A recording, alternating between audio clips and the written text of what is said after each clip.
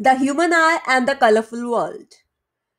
The human eye uses light and enables us to see objects around us. It has a lens in its structure. What is the function of the lens in a human eye?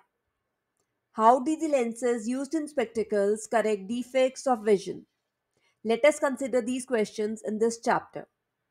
We have learned in the previous chapter about light and some of its properties. In this chapter, we shall use these ideas to study some of the optical phenomena in nature. We shall also discuss about rainbow formation, splitting of white light, and blue color of the sky. The human eye. Let's begin. The human eye is one of the most valuable and sensitive sense organs. It enables us to see the wonderful world and the colors around us.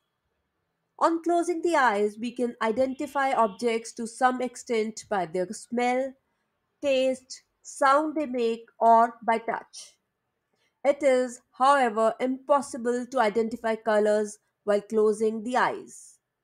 Thus, of all the sense organs, the human eye is the most significant one as it enables us to see the beautiful, colorful world around us.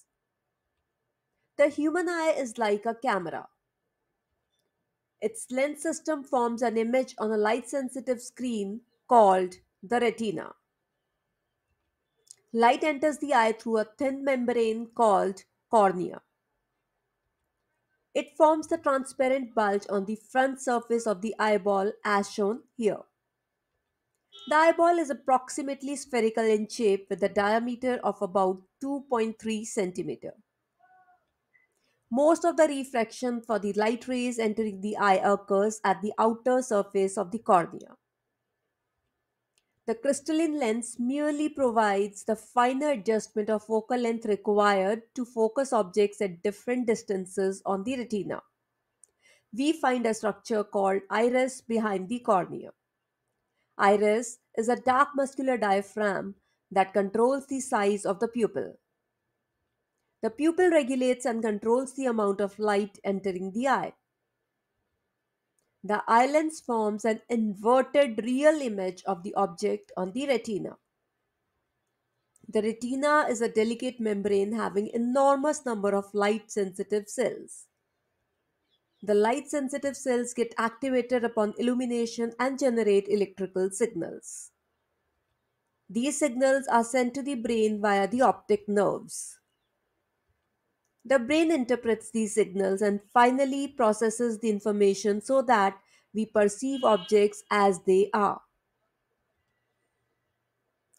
Power of accommodation. The eye lens is composed of a fibrous jelly like material. Its curvature can be modified to some extent by the ciliary muscles. The change in the curvature of the eye lens can thus change its focal length. When the muscles are relaxed, the lens becomes thin. Thus, its focal length increases. This enables us to see distant objects clearly. When you are looking at the objects closer to the eye, the ciliary muscles contract.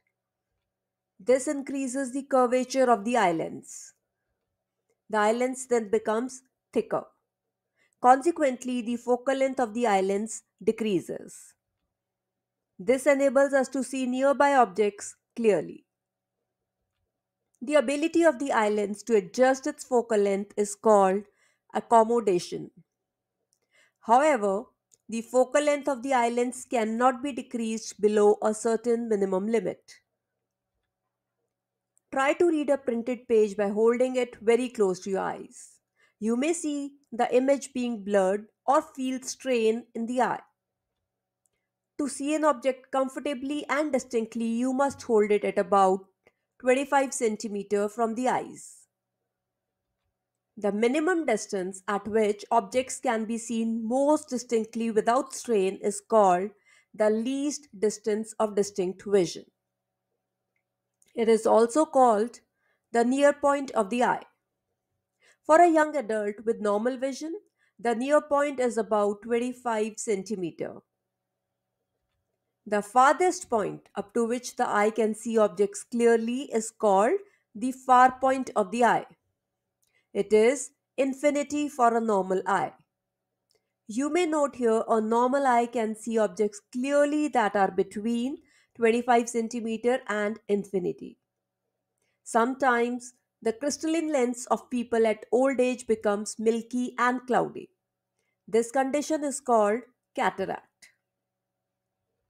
This causes partial or complete loss of vision. It is possible to restore vision through a cataract surgery. Now let's see defects of vision and their correction. Sometimes the eye may gradually lose its power of accommodation. In such conditions, the person cannot see the objects distinctly and comfortably. The vision becomes blurred due to the refractive defects of the eye. There are mainly three common refractive defects of the vision. These are myopia or nearsightedness, hypermetropia or farsightedness, and presbyopia. These defects can be corrected by the use of suitable spherical lenses. We discuss below these defects and their correction. Myopia. It is also known as nearsightedness. A person with myopia can see nearby objects clearly but cannot see distant objects distinctly. A person with this defect has the far point nearer than infinity. Such a person may see clearly up to a distance of few meters. In a myopic eye, the image of a distant object is formed in front of the retina and not at the retina itself. This defect may arise due to excessive curvature of the eye lens or elongation of the eyeball. This defect can be corrected by using a concave lens of suitable power, as illustrated here. A concave lens of suitable power will bring the image back on the retina and thus the defect is corrected.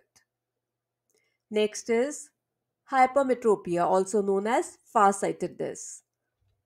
A person with hypermetropia can see distant objects clearly but cannot see nearby objects distinctly.